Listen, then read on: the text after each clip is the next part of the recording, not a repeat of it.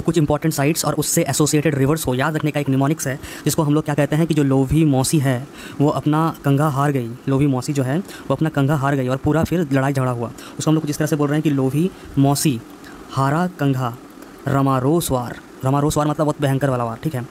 तो अभी लोभी मौसी का जो एल है एल इस एल का मतलब है लोथल। लोथल और वी का मतलब क्या है? भोगावा।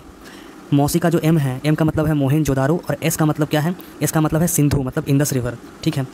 हारा का जो एच है, वो है हरप्पा और आर क्या है? आर है रवि। आर क्या है? आर है रवि।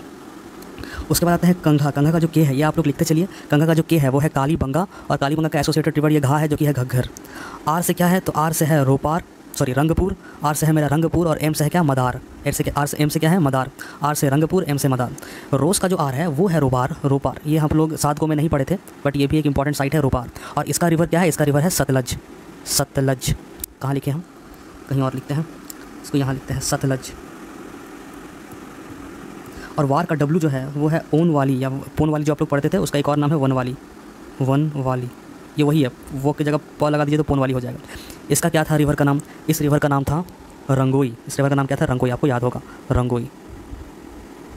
और अगर आप लोग को याद एकदम ही नहीं है ये लोथल भगावा क्या है, ये सब याद नहीं आ रहा है तो पिछला वीडियो इसी चैनल में देख लीजिए आप लोग जल्दी जल्दी तो फिर से मैं एक बार रिपीट कर रहा हूँ लिमोनिक्स क्या है? लोभी, मौसी, हारा, कंघा, रमा, रोस, वार, ल से मतलब एल से लोथल, भी से भोगावा एम से मोहनजोदारो एस से सिंधु मतलब इंडस एच से हरप्पा आर से एच से हरप्पा आर से क्या? रवि के से कालीबंगा, घ से घग्घर आर से यहाँ पे क्या है? आर से है रंगपुर एम से क्या है मदार, इस आर से रोपार और इस एस से सतलज, इससे वन वाली इससे रंगोई दैट्स इट